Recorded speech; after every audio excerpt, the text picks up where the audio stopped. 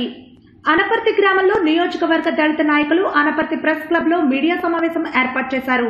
ఈ సందర్భంగా వారు మాట్లాడుతూ సుప్రీంకోర్టు ఎస్సీ ఎస్టీ చట్టంలో కొన్ని మినహాయింపులు చేసిందని ఆ రోజు నుండి ఈ రోజు వరకు దేశంలో దళితులు వివిధ ఉద్యమాల ద్వారా కేంద్ర ప్రభుత్వానికి తీర్పు వ్యతిరేకత తెలియజేశామని ఈ సందర్భంగా మాజీ ఎంపీ హర్షకుమార్ ఆధ్వర్యంలో ఆంధ్రప్రదేశ్లో రాష్ట్ర వ్యాప్తంగా వివిధ ఉద్యమాలు చేశామని ఆగస్టు ఐదవ తేదీన గుంటూరులో మిలీనియం మార్చ్ తలపెట్టారని ఈ సందర్భంగా బీజేపీ ఎంపీలు కూడా కేంద్ర ప్రభుత్వంపై ఒత్తిడి తీసుకురాగా కేంద్ర మంత్రులు సమావేశంలో ఎస్సీ ఎస్టీ చట్టం పాత స్థితి తీసుకువచ్చేలా అమెండ్మెంట్ వర్షాకాలం సమావేశంలో పెట్టడానికి బిల్లు పెడుతున్న సందర్భంగా హర్షం వ్యక్తం చేస్తున్నామని అన్నారు.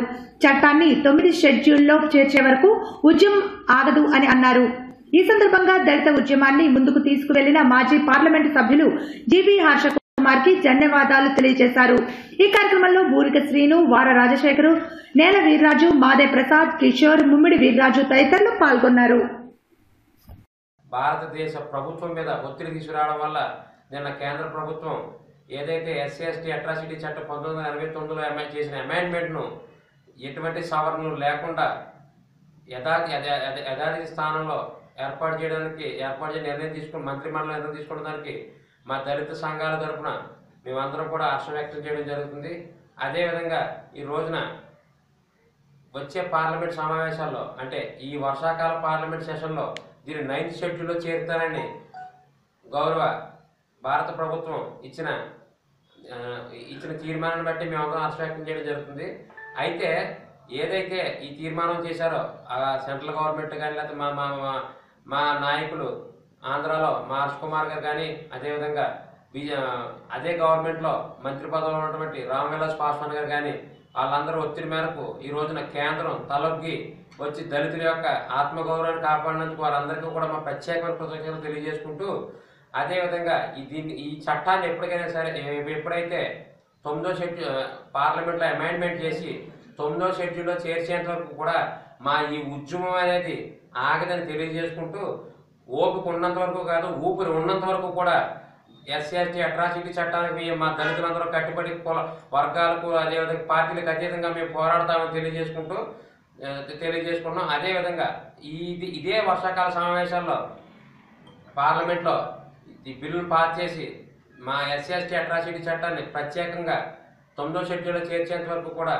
ఏ నాయకుడైతే ఏ దళిత ఏ దళిత నాయకుడైతే ఏ ఏ పార్టీ ఏ పార్టీలకు అతీతంగా ఏ నాయకుడైతే పిలిపిస్తే ఆ నాయకుడికి మేమందరం కూడా సపోర్ట్ చేసి మా చట్టాన్ని పరిరక్షించుకోవడం కోసం మేము పాటు పాడతామని మీ అందరికీ తెలియజేసుకుంటూ అదేవిధంగా ఈ ఏ ఏ పార్టీలు అయితే ఈ రోజున రామ్ విలాస్ పాస్వాన్ గారికి కానీ మా జీవి హర్ష్ కుమార్ గారికి కానీ ఎవరైతే సపోర్ట్ చేసే వాళ్ళందరికీ ప్రత్యేకమైన ధన్యవాదాలు తెలియజేసుకుంటూ రానున్న రోజుల్లో ఏ కులానికైనా ఏ మతానికైనా దేనికైనా సరే ఏదైనా ఇబ్బంది వస్తే దళితులందరూ అండకుంటామని మేము తెలియజేసుకుంటూ అదేవిధంగా ప్రత్యేకంగా మా ద- ఈ రోజున పంతొమ్మిది వందల తొంభై నాలుగు తర్వాత పంతొమ్మిది వందల తొంభై నాలుగు తర్వాత ఏ రెండైతే కులాలు మేము కలిసి మేము పోరాటం చేయలేకపోయామో అదే విధంగా ఎలా ఇరిపోయామో అదే విధంగా ఈ రోజు రెండు కులాలు కలిసి ఒక దళిత ఉద్యమాన్ని నడిపించామంటే కేవలం అది ఒక ఎస్ఎస్టీ అట్రాసిటీ చట్టం మీద చట్టం మీద ఉన్న గౌరవము లేకపోతే మాకున్న ఆశ ది- ది- దిశ దిశ నిర్దేశమైనటువంటి చట్టాన్ని కాపాడుకోవడం కోసం. డాక్టర్ బాబాసాహెబ్ అంబేద్కర్ ఇచ్చిన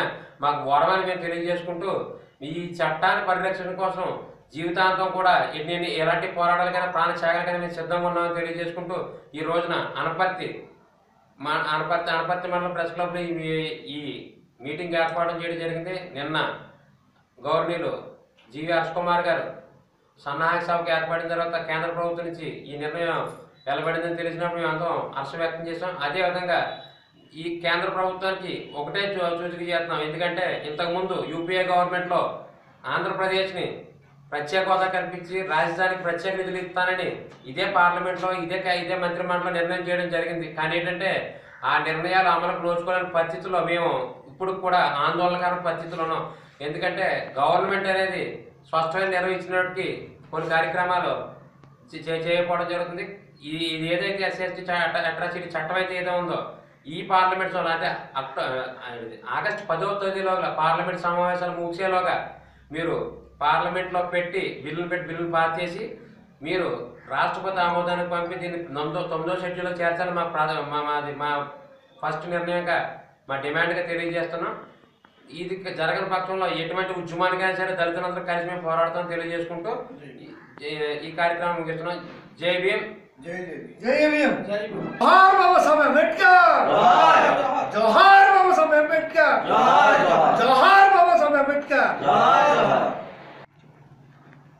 దళిత గిరిజనులపై జరుగుతున్న అన్యాయాలను అరికట్టేందుకు ఏర్పడిన ఎస్సీ ఎస్టీ చట్టాన్ని పాత యథాస్థితిలో కొనసాగించేటందుకు కేంద్ర కేంద్ర కేబినెట్ ఆమోదం తెలపడం పట్ల కేంద్ర కేబినెట్ ఆమోదం తెలపడం భారతదేశ దళిత ప్రజల విజయంగా మేము భావిస్తున్నాం. అదేవిధంగా మా ప్రధాన రెండో డిమాండ్ అయినటువంటి తప్పుడు తీర్పిచ్చిన ఎస్సీఎస్టీ కేసులు తప్పుడు తీర్పిచ్చిన జి ఎన్జిటి ఎన్జిటి చైర్మన్ గోయల్ని కూడా తక్షణమే సస్పెండ్ చేయాలనే రెండో డిమాండ్ కూడా నెరవేర్చాలని కోరుతూ అదేవిధంగా ఇదే పార్లమెంట్ సెషన్లో కేంద్రం ఏ- విధంగా అయితే ఈ చట్టాన్ని అమలు పరుస్తామని మాకు హామీ ఇచ్చిందో ఆ హామీ ఇదే పార్లమెంట్లో చట్టం చేసి తొమ్మిదో షెడ్యూల్లో చేర్చాలి. అప్పటి వరకు కూడా ఈ దేశవ్యాప్తంగా ఇచ్చే దళిత ఉద్యమాలలో ప్రతి మేమందరం పాల్గొని దాన్ని విజయవంతం చేసి ఈ చట్టాన్ని రక్షించుకుంటామని అదేవిధంగా ఈ చట్టానికి కృషి చేస్తున్నామండి మా మాజీ పార్లమెంట్ సభ్యులు హర్ష్ కుమార్ గారికి అలాగే రామ్విలాస్ పాస్వాన్ గారికి బీజేపీ దళిత ఎంపీలైనటువంటి వాళ్ళందరికీ కూడా మేము హృదయపూర్వక ధన్యవాదాలు తెలుసుకుంటూ వాళ్ళందరినీ కూడా మిగతా రాష్ట్రాల్లో ఉన్న పర దళిత ఎంపీలు ఎమ్మెల్యేలు ఆదర్శంగా తీసుకుని మన హక్కులు కాపాడేందుకు అందరూ కూడా ముందుకు వచ్చి పోరాటం చేయాలని ఈ చట్టాన్ని యథాస్థితిలో కొనసాగించేందుకు పలు రూపాల్లో దేశ నాయకులు ఇచ్చే పిలుపులకు మేము స్పందించి ఉద్యమాన్ని ముందుకు నడిపిస్తామని ఈ సందర్భంగా తెలియజేస్తున్నాం. జై భీమ్.